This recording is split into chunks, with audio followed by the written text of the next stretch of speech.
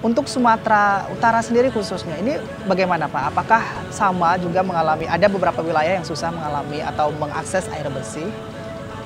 Kalau di Sumatera Utara ini, akses air bersih bagi masyarakat itu baru tersedia sekitar eh, 10 sampai 15 persen.